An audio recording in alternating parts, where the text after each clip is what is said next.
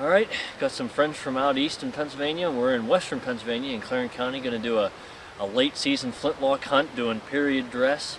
Uh, going to go over some of the guns and some of the equipment we use in a, a later part of the video, but uh, we're just gonna we just got some fresh snow tonight, and we're just gonna kind of sneak around, walk through, and see if we can find some of these deer.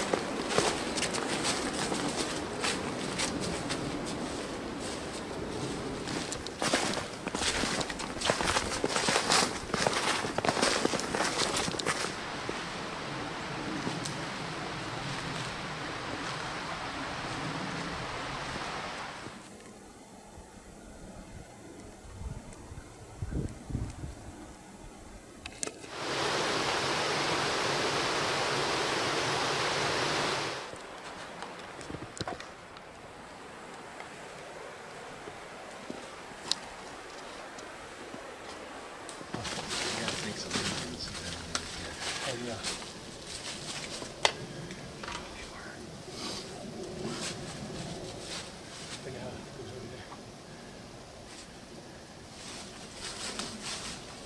We gotta get some wood.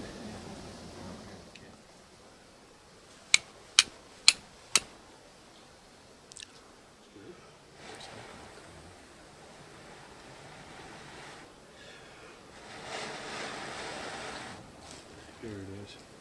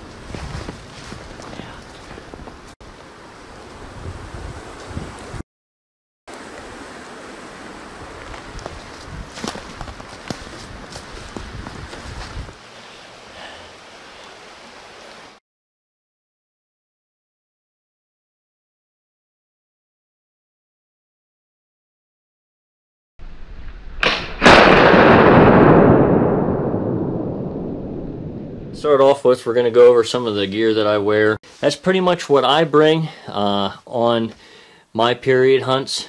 All right, well, we got Gary here with all of his stuff, and he's going to talk to you about uh, the products that he makes. Go ahead, Gary. Hi, I'm Gary Fothery, sewer, cutter, floor sweeper, the whole nine yards of the Leatherman traditional leather products. Rendezvous across uh, Pennsylvania, and uh, they uh, always give you a nickname at the rendezvous, and they started calling me the Leatherman. Bags have a pocket on the inside, the main pocket. This one has two. Po- These are more of the traditional size bags. This bag is right out of the Madison Grant book. Pockets on the front.